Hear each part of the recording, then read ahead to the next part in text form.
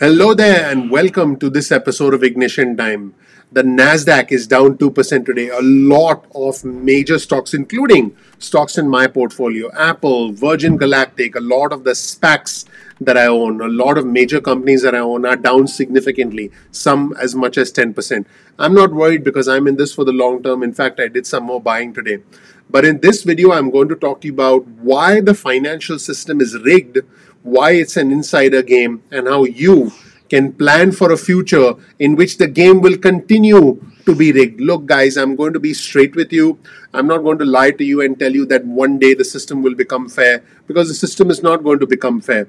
I am someone who looked at the stock market 10 years ago and said, Gosh, I, I hope to own some stocks someday. And today I manage a multi million dollar portfolio. I'll tell you exactly what my lessons were and I'll tell you how you can work with the financial system that is indeed rigged. Let me start with proof that the financial system is rigged. On your screen, you'll see a tweet from Jeff Stein over at the Washington Post, and Jeff reports that the former U.S. Treasury Secretary Steven Mnuchin is planning an investing fund. And yes, he's planning on essentially having a fund where he can presumably invite high net worth individuals to contribute, and then he can manage millions, potentially hundreds of millions of dollars.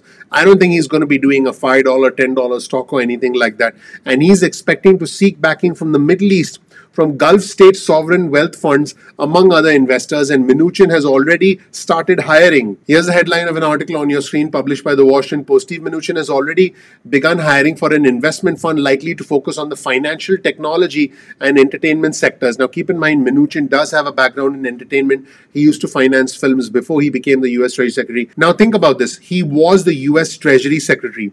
He was worth hundreds of millions of dollars even before he took that job.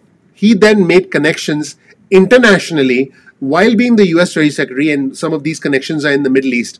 And then he's using some of those connections to further his own financial interests as a private citizen after leaving the administration. Now, think about this for a second. If this is not a symptom of a rigged game, what is. In fact, when the Capitol incident happened on the 6th of January, Mnuchin was actually on a diplomatic mission through the Middle East. He was traveling through the Middle East and Africa, visiting Sudan, Egypt, Israel, and the United Arab Emirates, Saudi Arabia, and Qatar.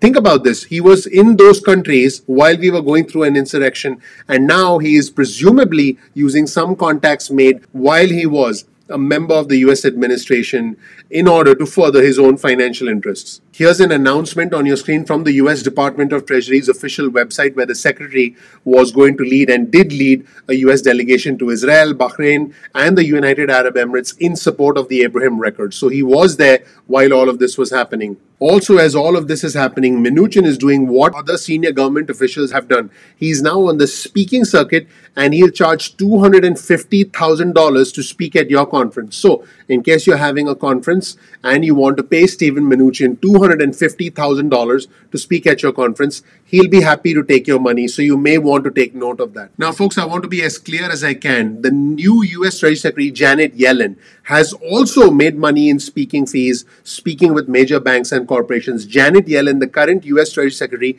has earned over $7 million in speaking fees, speaking with banks, and speaking with corporations over the past few years. And this information is from her official financial disclosure form. You'll see her financial disclosure on your screen as we scroll down this uh, this document. Janet Yellen made over seven million dollars in speaking fees, speaking with major banks and corporations over the past two years, and she was required to disclose this, and she did before accepting the job of the U.S. Treasury Secretary. And what I find most ironic when we're speaking about Stephen Mnuchin soliciting hundreds of millions of dollars, Janet Yellen making seven million dollars, and Stephen Mnuchin charging two hundred and fifty thousand dollars to speak, we are talking about a $10 an hour minimum wage. Here's the headline of an article on your screen, and I did cover this in another video.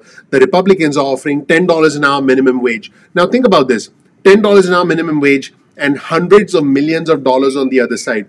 If this doesn't tell you the system is rigged, I don't know what will. And while all this is happening, you see this headline of an article from Bloomberg Tech Paces US stock slump as rotation takes hold. People, meaning large hedge funds, the insiders, are selling the stocks that have gone up, like Apple, like Tesla, and are then rotating that money into bank stocks. One of my biggest holdings is Bank of America.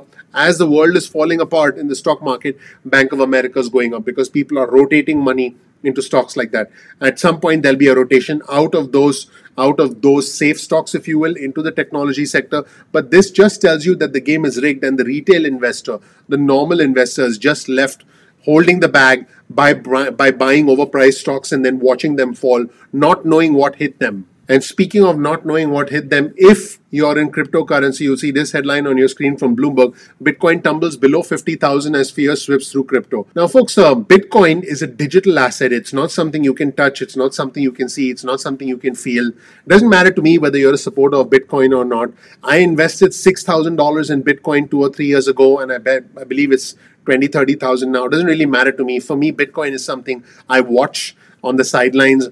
I invest in a lot of technology companies and emerging companies in the stock market, and I invest in a lot of real estate. But I'm just trying to show you this article to give you a sense of how volatile, how unpredictable, and in many ways how rigged the market is because a single tweet from someone like Elon Musk could send the price of Bitcoin going up or down, which again is an indication of momentum and emotion driving the stock market as opposed to an element of fairness, an element of long term fundamental behavior at the moment. Now, the Federal Reserve Chairman Jerome Powell and Janet Yellen both expressed skepticism about Bitcoin and said that they weren't too sure about the long term future of Bitcoin. And also, Bitcoin's technical indicators look stretched according to many, many experts, meaning it's way too high and it's time for a correction. And as the stock market is starting to crack a little bit, home prices seem to keep going up. Here's a headline of an article on your screen from Bloomberg. By the way, we'll provide you with a link to all these articles in the description section below. Home prices in the US see a jump at the fastest pace since 2014. So keep in mind that home prices continue to go up because of low mortgage rates. What is the bottom line? Number one, the game is rigged. Number two, you need to understand that there are forces at play that essentially are larger than you and me. And you need to make sure that whatever you invest in, whether it's cryptocurrency, whether it's something like Apple, whether it's stocks like Etsy, whether it's whether it's clean energy companies, whether it's marijuana companies, you need to make sure that you know how to do the research on those companies. You understand how they make money. You ask yourself, are they likely to make money in the future? And you have a strategy on how much you expect to make each year from your stocks, and you have a goal in mind. And when there are bumps in the road, and there will be bumps, things are rocky right now, things will continue to get rocky.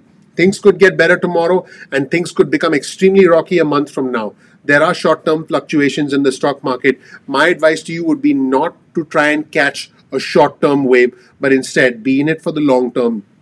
Pick stocks, buy them at the right prices. If you don't know how to buy stocks at the right prices, study valuations, learn how to value a stock so that when you buy something, you're buying it at the right price and then hold for the long term because that is when most of your money will be made.